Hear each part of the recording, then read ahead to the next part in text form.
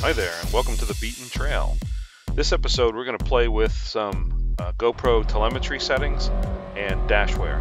So, uh, what's really exciting is, you know, if you have GPS turned on in your GoPro, you're going to be receiving all that telemetry onto the video data file. You're going to have speed, and you're going to have your location, and you're going to have uh, a couple different other values that it gets recorded. So, uh, I tried playing with that a little bit, but the GoPro software is really weak. You can only export about about a minute worth of video. So Dashware is a great program. It's free, and it will read the telemetry out of your GoPro as long as you have it enabled.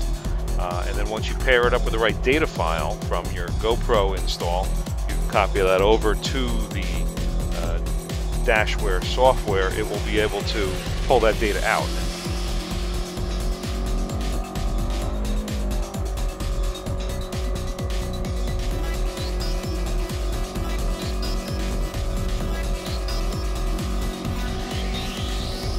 So I was watching some videos on YouTube and I saw somebody with a speedometer down on the video. And I was like, that is awesome. And then they had a skydiver and he had his altitude on there. I'm like, that is awesome. I would I want to do that. So that's how this started.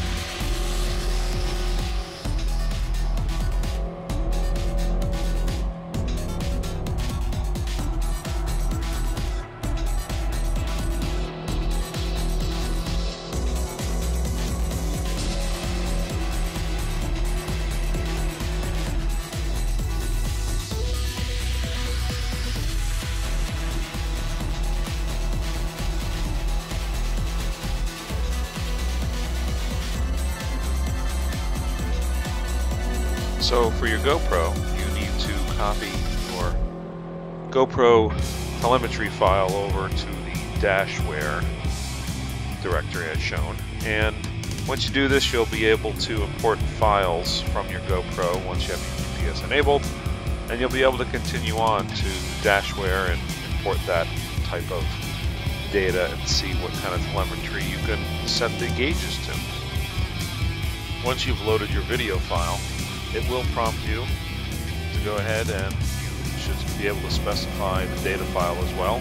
It'll import the file and you'll be able to select GoPro and add that telemetry. So once you start playing the video, you should be having real-time process. Uh, if you have the gauges, you'll see the speed change and whatnot. If you don't see anything selected, then it's not synchronized.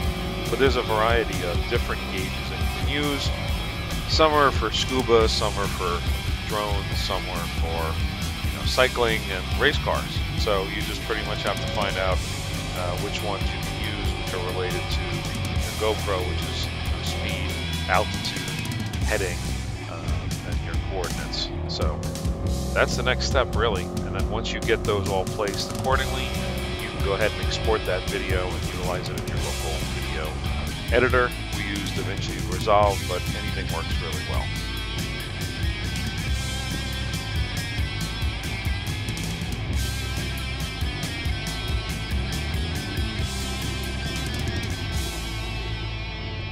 You can resize these gauges and you can edit them. Uh, obviously, I'm not an expert on dashware, but you can certainly go ahead and read up on more modifications. It's a very complex program, but it seems like it's very expandable and you can do whatever you want. Uh, so once you have those all placed, you can go ahead and see that data come up. And uh, if you want, you can read up more about that, but it looks very versatile. I'd highly recommend it.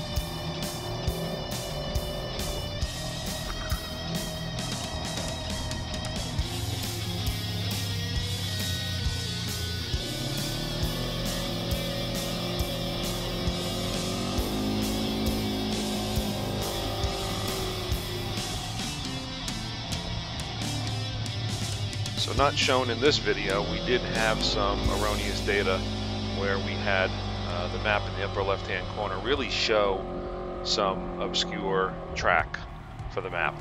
So be aware that you know you may have some corrupted data.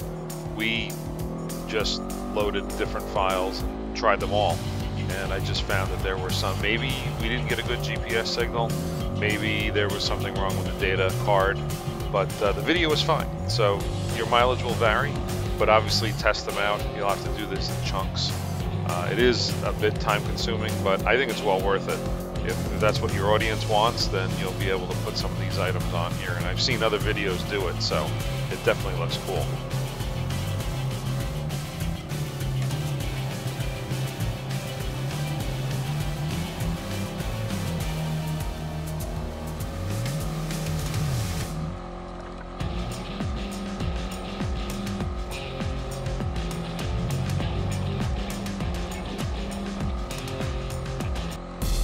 So I know a few of you have written to me saying, hey, we want some longer trail videos. Uh, I'll definitely get those up soon, but this is pretty much a precursor to see what I can do to put some data up there for you. So stand by. Thanks again for watching. Please subscribe. Please share the video. Please go ahead and like it and tell me what you like the best about GoPro and your telemetry and what data, what have you done in the past? So go ahead and put that in the comments and thanks again for watching.